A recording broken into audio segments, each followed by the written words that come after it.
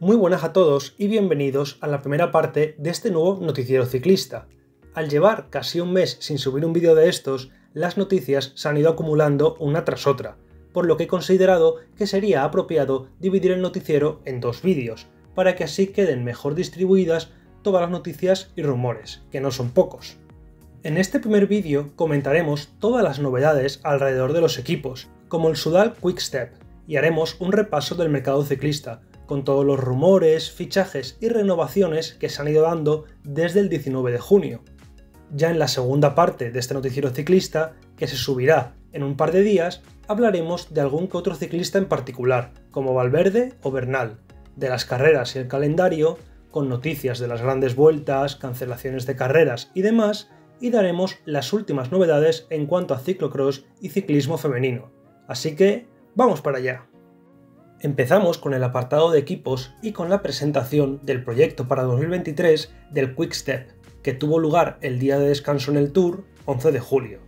Para el año que viene, Lefebvre contará con un nuevo patrocinador principal, Sudal, copatrocinador actual del equipo de la lotería belga, el Loto. Esta será la nueva equipación que llevarán sus ciclistas, las hay más bonitas, seamos honestos. Este nuevo acuerdo hará que el equipo pase a ser conocido como Sudal Quickstep durante los próximos 5 años y se estima que el presupuesto sea de 20 millones anuales, un poco superior al previo. Sudal tenía un gran interés en poder mostrarse en las grandes vueltas por etapas y como patrocinador principal, cuestiones que no eran posibles con el Loto. Y el mismo día que se presentó el Sudal Quickstep, Lefebvre soltó un bombazo, pero ya lo comentaremos en el apartado del mercado ciclista. Y otro equipo que podría tener un nuevo patrocinador para el año que viene sería el B&B Hotels. Jérôme Pinot, manager de la escuadra, anunció el primer día del tour que estaba muy cerca de firmar un acuerdo con un patrocinador muy grande, que le ofrecería un presupuesto anual de unos 19 millones según los rumores, a la altura de los top del World Tour, y que este patrocinador querría tener también un equipo femenino. También tenemos la noticia de que Valois Insurance, patrocinador actual del Sport Blander en Valois, ha renovado su acuerdo de patrocinio para los dos próximos años. Esto garantiza el futuro a corto plazo del equipo, que seguro seguirá llevando algún que otro belga al World Tour tras desarrollarse en la escuadra, como Yves Lampaert, Sting de Boulder, Campenaerts o Van Marke, entre otros. Y avanzando ahora a los filiales de los equipos World Tour, el Lotto Sudal Development Team anunció que la próxima temporada dará el paso a la categoría continental, pues hasta el momento operaba a nivel de club, nada más. Esto facilitará el desarrollo de sus corredores y su promoción al primer equipo, pues podrán probarse en carreras de nivel 1.1 y 1.pro con los mayores. Y también salió noticia de que a partir del año que viene el Intermarché o Antigobert también tendrá su propio equipo filial de nivel continental. El director deportivo de este nuevo equipo será Kevin Van Melsen, que anunció su retirada de ciclismo profesional, en el que llevaba desde 2009 con la estructura que hoy en día es el Wanty, el Intermarché. Este nuevo equipo ofrecerá oportunidades a unos 15 ciclistas del panorama belga e internacional, otro anuncio muy interesante es el de la creación de la Academia de Ciclismo Ineos Eliud Kipchoge, en el centro de entrenamiento del atleta en Kaptagat, Kenia. El equipo ciclista será apoyado por su patrocinador, Ineos, la Federación Keniata de Ciclismo y Kipchoge en esta nueva iniciativa, que será dirigida por Valentine Trow y con la que aspiran a desarrollar el ciclismo en África y a descubrir nuevos talentos que permanecen ocultos. Y vamos con temas de dopaje, pues varios managers y directores de equipo World Tour anunciaron que sus equipos estarían dispuestos a realizar análisis de sangre justo antes y justo al finalizar cada etapa y carrera, e instan a la UCI y a la Agencia Mundial Antidopaje a instalar esta propuesta como nueva normativa. Estos directores serían, según lo conocido hasta el momento, Iwan Spekenbrick del DSM, Richard Pluge del Jumbo Visma y Jonathan Butters, del EF Education. Y atención, porque el 12 de julio, la ITA, la Agencia Internacional de Pruebas, que realiza las pruebas antidoping a petición de la UCI, afirmó que este tipo de pruebas ya se han introducido como parte del programa y que podrían aplicarse en cualquier momento en este tour o en otras competencias. La razón de todo esto sería el método de dopaje sanguíneo empleado por los implicados en la operación Aderlas, con el que el doctor Mark Schmidt inyectaba sangre a sus atletas de varias disciplinas, incluyendo el ciclismo, justo antes de una competición y se la drenaba al finalizarla, por lo que este dopaje no podía ser detectado por los controles antidopaje impuestos hasta el momento. Además, los 18 equipos World Tour se comprometieron, gracias a Richard Pluge, también presidente de la Asociación de Equipos, aumentar la financiación anual que otorgan a la lucha contra el dopaje, de 80.000 a 220.000 euros anuales. Y acabamos este apartado de noticias de equipos con una información que transmitió Javier Ares en su canal de YouTube. El afamado periodista deportivo aseguró que los equipos que están en peligro de descenso para el trienio 2023-2025, como el Loto, Israel, Movistar o Bike Exchange, están tratando de que la UCI suspenda el sistema de ascenso y descenso, pues sus ciclistas y su participación en algunas carreras se han visto claramente afectados por el COVID pero la UCI no dio su brazo a torcer y el sistema se mantendrá. Y pasamos ahora con el apartado de fichajes con la tan positiva noticia de que uno de los corredores del extinto Gazprom Rusvelo, equipo al que se le retiró la licencia por el conflicto entre Rusia y Ucrania, ha encontrado una nueva casa. Se trata de Alessandro Fedeli, que pasará a formar parte de las filas de Leolo Cometa hasta finales de 2023, con los que ya debutó en los campeonatos nacionales de Italia. El joven Andrea Piccolo, de 21 años, fue otro que provenía del Gazprom Rusvelo y que hizo su debut con su nuevo equipo, el Drone Hopper Androni, en los campeonatos nacionales de Italia, en los que quedó cuarto, el último del grupo que se jugó la victoria. Piccolo firmará con el equipo de Gianni Savio hasta finales de este año. Y hablando de los campeonatos nacionales de Italia, iniciamos la serie de rumores con el ganador de los mismos, Filippo Zana, que posiblemente dará el salto al World Tour con el Bike Exchange, si es que conserva su categoría. Se rumorea que el contrato sería de dos años con opción a un tercero. Y cuidado con el siguiente rumor, pues según el diario L'Equipe, Clément Champuzin abandonaría el AG2R equipo con el que pasó a profesionales en 2020 y pasaría a engrosar las filas del Arkea Samsic para las dos próximas temporadas. Un Arkea que acaba de anunciar quiénes serán sus tres becarios en estos últimos meses de temporada. Ewen Costiou, Tun Klinhens y Pierre Thierry. Pasamos ahora con Soren Kra Andersen, que además de no entrar en el 8 elegido por el DSM para el Tour de Francia, que empieza en Dinamarca, su país natal, no continuará vinculado con el equipo tras este año. Ambas partes decidieron no entrar en negociaciones para un nuevo contrato. El destino del danés será muy posiblemente el Alpecin, que además se reforzará con Quinten Hermans y Caden Groves, rumores que ya comentamos en el anterior noticiero. Vaya tres refuerzos para esta escuadra que no para de crecer exponencialmente cada temporada. Con el equipo que se les está quedando, no creo que vayan a echar mucho de menos a Tim Merlier, Christoph Ruthhuft, manager de la escuadra, confirmó antes del tour que Merlier abandonaría la escuadra dirección Sudal Quickstep. Seguimos con Domen Novak, actualmente en las filas del Bahrain Victorious, que según la Gazzetta dello Sport estaría de camino al UAE para unirse a su compatriota Tadej Pogachar a partir de 2023. Sería otro buen refuerzo de este equipo para la montaña tras lo mostrado por el eslovaco en la última semana del Giro de Italia y el Tour de Eslovenia. Y actualizando la información que transmitimos en el último noticiero sobre el noruego Alexander Kristoff, en cuyo fichaje estaban interesados numerosos equipos, parece que el UNOX ha alcanzado un acuerdo con el veterano, que firmaría tres años con la escuadra de su país. Esto les haría ganar enteros para recibir invitaciones a las mejores carreras, pero quizás tres sean demasiados años para un ciclista de 35 que confirmó que el contrato que firmase este año sería el último. Y es muy posible que Christophe y Hermans no sean los únicos en marcharse del Intermarché, pues Andrea Pascualón, que también acaba contrato este año, ha recibido mucho interés por parte del Bahrain Victorious, un equipo claramente necesitado de sprinters.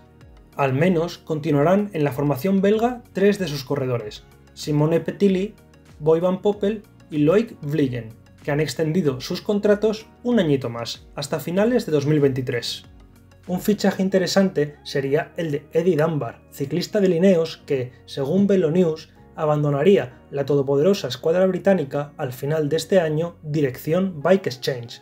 De ser así, sería un buen movimiento, pues Dunbar ha tenido muy pocas oportunidades en el Ineos a pesar de los buenos resultados cosechados, compitiendo únicamente en una gran vuelta, el Giro 2019, y quedándose fuera del de este año en favor de Ben Talet. Vamos ahora con el Ineos, que tras la muy posible marcha de Carapaz al EF Education no firmará a otra estrella del pelotón para reemplazarle, optando por seguir desarrollando a sus jóvenes talentos como Pitcock, Plapp o Rodríguez. Además, el equipo trabaja en conseguir la renovación de contrato de Adam Yates, que posiblemente sea anunciada tras este Tour de Francia. Pasamos ahora con el colombiano Fernando Gaviria, que tiene todas las papeletas de no continuar en las filas de su actual equipo, el UAE Team Emirates, con el que termina contrato. Mauro Gianetti, manager del equipo, ha confesado que, de momento, no hemos iniciado ninguna negociación. Eso es algo que veremos en los próximos meses, hablando el 18 de junio. Uno que sí va a tener muchas llamadas es el reciente ganador del Giro de Italia Sub-23, Leo Hayter. El joven británico del Hagens Berman Axion, que entró como reserva al Giro Sub-23, acaba contrato y su actual director deportivo, Axel Merckx, ha asegurado que a su agente no le faltarán llamadas de equipos interesados. Bien acertado que estaba, pues hasta 10 equipos World Tour mostraron interés, con 4 a la cabeza. Bora, Ineos, UAE y Jumbo Visma. Y otro ciclista que termina contrato este año es Stefan Kung, que ha asegurado tener muchas ofertas y que está esperando a que la de su actual equipo, el Grupama FDG, le guste o su camino continuará en otra escuadra en la que sea la prioridad y no solo tenga libertad en el pavés, sino también para las generales de vueltas de una semana. Recordemos que quedó quinto en el último Tour de Suiza, en el que mostró cierta capacidad escaladora. Y dos que sí que van a mantenerse en el equipo en el que están actualmente son Mats Pedersen y Jasper Stuyven. Ambos han decidido prorrogar su relación con el Trek Segafredo por tres años más, hasta finales de 2025, por lo que la escuadra estadounidense se garantiza poder contar con dos corredores de primer nivel varios años más. También van a permanecer en su actual equipo, en este caso hasta el final de 2023, tres ciclistas del Bora, Patrick Gamper, Ben Swyhoff y Lenny Kamna, uno de los reyes de las escapadas, reciente ganador de etapa en el Giro y ayudante de Jay Hindley en su victoria final. Están pendientes de renovación ciclistas de la talla de Groschatner y Kelderman. Continuamos con renovaciones de contrato con la de uno de los mejores ciclistas españoles, Enric Mas, que continuará en el Movistar hasta finales de 2025, tres años más en los que deberá tomar una gran responsabilidad como líder en el equipo navarro tras la anunciada retirada de Valverde este año. Otro corredor de primer nivel que renueva con su actual escuadra es David Godou. El francés tenía contrato con el Grupama FDG hasta 2023, pero han decidido ampliar su relación hasta finales de 2025, por lo que continuará siendo uno de los líderes del equipo francés varios años más. El Jumbo Visma tampoco se queda corto, pues confirmó antes del Tour de Francia la extensión de contrato de dos de los ciclistas que forman parte del 8 para la Ronda Gala, Tis Benut y Nathan Van Hooydonk.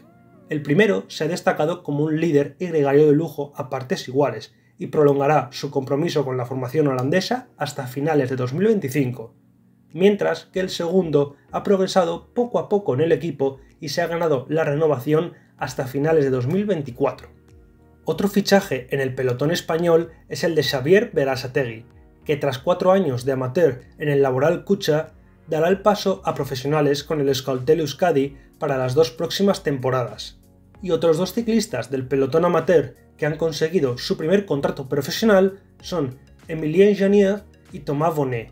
Ambos proceden del Vendée equipo de desarrollo del Total Energies, equipo en el que permanecerán hasta el final de 2024 y en el que ya se probaron como becarios el año pasado. Uno que muy posiblemente no continúe en el pelotón World Tour el año que viene será Alex Dowsett, actualmente en las filas de Israel Premier Tech, con los que termina contrato. El contrarrelojista británico confesó que no le importaría no continuar compitiendo al máximo nivel, a pesar de que le quedan un par de añitos a alto nivel, pero la participación en otros eventos como ayudante de Elliot Kipchoge le ha hecho expandir sus miras y horizontes. Es momento de hablar del Cofidis, que durante este tour anunció la renovación hasta finales de 2024 de dos de sus mejores ciclistas, Johnny Zaguirre y Guillaume Martin. El vasco tan solo había fichado para esta temporada con el equipo, que no tardó en apreciar su valor, garantizándose su permanencia hasta los 35 años. Por el otro lado, el Cofidis anunció la extensión de contrato de Martin por dos años más el día después de que tuviera que abandonar el Tour por positivo en COVID buena muestra simbólica de compromiso por parte del equipo francés. Y otra renovación interesante es la de Martin Tussveld, que terminaba contrato este año y permanecerá en el DSM, su equipo actual, dos años más, hasta finales de 2024. Y el bombazo tan esperado del Quick Step tras la presentación de su proyecto 2023 fue lanzado por el propio manager del equipo, Patrick Lefebvre, que aseguró que Mark Cavendish quiere continuar en el pelotón dos años más pero que no formará parte del proyecto Sudal Quickstep para el año que viene. Cab tendrá que buscarse un equipo que le lleve al Tour para superar el récord de victorias que tiene con Mers, 34 cada uno. Quien sí continuará en la formación belga será Yves Lampaert, ganador de la crono inicial del Tour, que está muy cerca de una extensión de contrato, mientras que Dries Devenins quizás se retire a final de esa temporada. Todo esto fue comunicado por el propio Patrick Lefebvre. Y finalizamos con el Quickstep con el fichaje de Martin Zvrešek, un joven eslovaco de 19 años que ya estuvo con el equipo en las concentraciones de invierno y que ha corrido esta primera mitad de temporada con el Viese Carrera, un equipo continental italiano. Ahora da el paso a profesionales y está listo para desarrollarse y aprender todo lo necesario. Y terminamos el apartado del mercado ciclista con el Lotto Sudal, Lotto Destiny el año que viene, que se ha movido mucho. El equipo belga confirmó las renovaciones de Arnaud Delis y Thomas de Gent hasta finales de 2024, dos añitos más, como comentamos en el noticiero anterior. A estas renovaciones se unieron la tan esperada de Andreas Kron, además de las renovaciones de Sébastien Grignard y Sylvain Moniquet, todas estas extensiones serán hasta el final de 2024. Pero lo más interesante del equipo belga sería el posible fichaje para los dos próximos años de Arjen Levens y Mathis Passenge, dos ciclistas muy interesantes actualmente en las filas del Bingo, y la pérdida de Steph Kras, que muy posiblemente se marche al Total Energies, equipo en el que Dries Van Gestel, ganador este año en Drenthe y tercero en la Gante Bergen, ha renovado por dos años más. Según Het Nieuwsblad, Crash detuvo las conversaciones de renovación con el Loto, por lo que su marcha parece un hecho. Este será un duro golpe para el equipo belga, pues a día de hoy Crash es el único ciclista que tienen capaz de hacer top 20 o top 10 en las vueltas de una semana de mayor nivel, salvo quizás, y muy quizás, por Van Hoeke, que termina contrato este año con la escuadra belga, al igual que Van Rensburg, Barbero, Kluge, Sweeney y demás.